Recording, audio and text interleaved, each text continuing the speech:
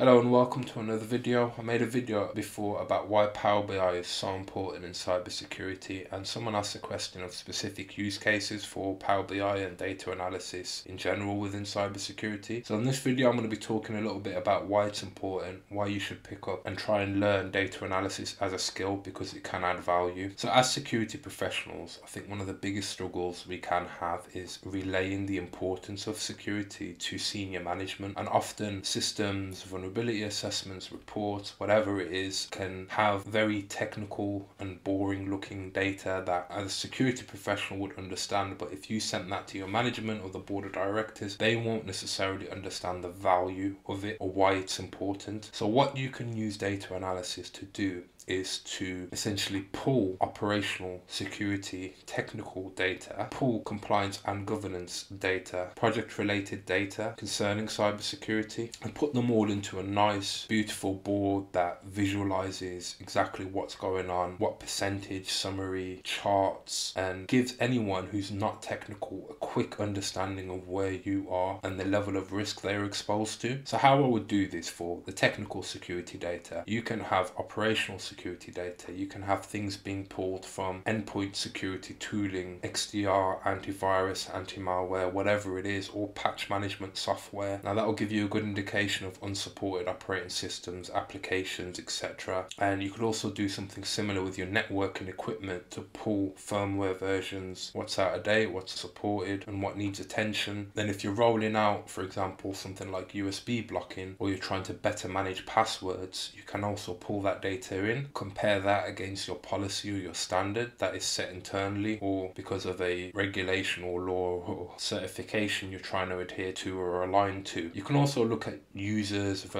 domain admins. That's quite a useful statistic to tell you if you have too many domain admins for the amount of users you have. And if you have any specific security tooling or SIEM tools, you can also pull data from them and use that as part of the visualization. So you've got your technical operational security data. And all of this stuff looks boring. It's just rows and columns with numbers and values and stuff that doesn't mean much to anybody. But you can visualize it and create templates that will pull this data in and spit something out that basically gives you a percentage of completion, a chart with like colors of like red, green, yellow. You can use a traffic light kind of system. You can use ticks and crosses to tell you what percentage is completed in what part of the business. You can split this up depending on how big your business is, what areas you're looking at, etc. etc. So that's one side of things. So that's one thing you can do with data analysis and Power BI. Another really useful use case for data analysis is compliance. If you've got so many different controls from different standards that you're trying to be compliant against, let's take for example the ISO 27001 Annex A controls and or NIST controls. You might also have 9001 quality or service management or business continuity or whatever it is. Cyber essentials, it could be anything, SOC 2, type 2, etc. etc. So you can have these controls that you're trying to comply against. Now, those split up into separate areas or domains and have subheadings, so you can actually visualize this in terms of compliance of how compliant you are against certain controls or a group of standards that you're trying to comply towards, and those can be split up into different areas. Now, if you was to tell a senior management member, not a security person, a business person, yeah, we've got Annex A 5.3 that we are trying to comply against, and we're implementing 5.4, and we're struggling with 5.6 or whatever, whatever, whatever, they're just going to probably fall asleep. But if you had maybe a pivot table or something like Power BI where you have a summarized version of everything that you've done, where you're compliant, where you're green, where you're red, what's outstanding, a total percentage, that is just a better way to demonstrate your compliance against security standards. So, from a compliance perspective, it can be very useful. Now, you can obviously use Excel to do this or a spreadsheet, but Power BI is also one way of doing this too. Another thing would be putting in risk data. So, obviously, you can put in risk data and your overall risk exposure, risk scoring, risk acceptance, etc. etc. There's a lot of risk data you can pull, which is basically stuff that would be in a business's risk register. But you can also include other items such as internal audits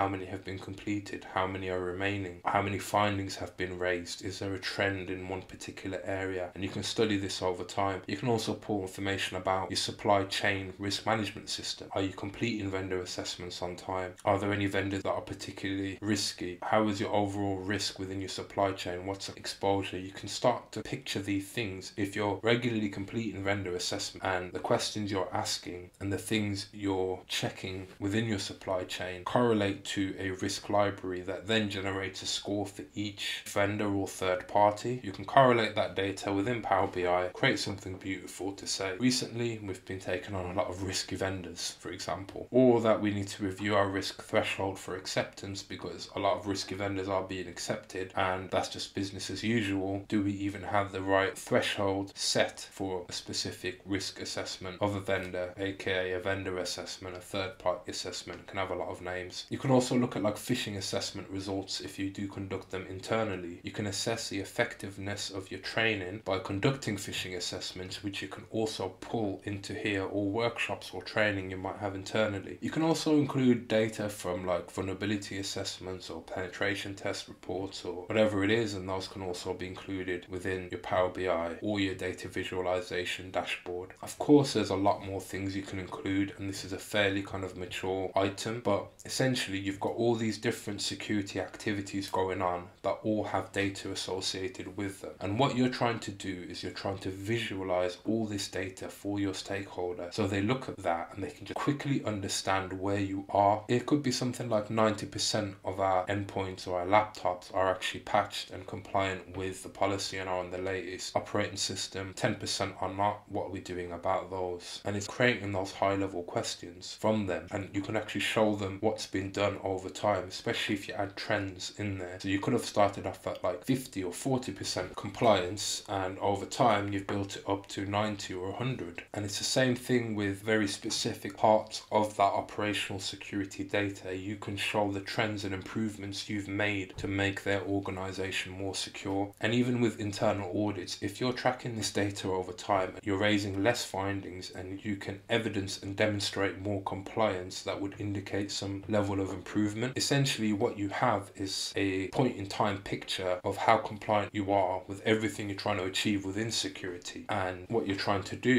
is set targets and over time trying to meet those. And it breaks down everything a security person might be doing or a team or a combination of teams into very basic, easy to understand data visualizations where anybody can look at that who's not technical and think, okay, we're getting more secure or there's a lot of risk there, what is going on there? They can ask questions and you know this can help with funding and so many other things. And that's kind of the main purpose. I think data analysis is good because it translates the technical security language and the day-to-day life of what security people are doing into real numbers that you can just track and see and you can deliver a lot of value to boards because they love this you know they love charts they love graphs they love visualizations it's just easy to understand as opposed to sending them huge emails or reports that they're not really going to read they just want to be able to look at one or two pages and quickly understand what the hell is going on and where you are in terms of compliance and projects and activities that you're doing. And that's why Power BI is such a powerful tool. Obviously there's so many different ways of doing this. You can look at like integrating it with systems and pulling live data and setting it to automatically refresh or you can just pull exports and just look at it at a more point in time type thing where you can do it every week every month every six months or however often you want to do it. But you can essentially create so many different types of charts and graphs and tables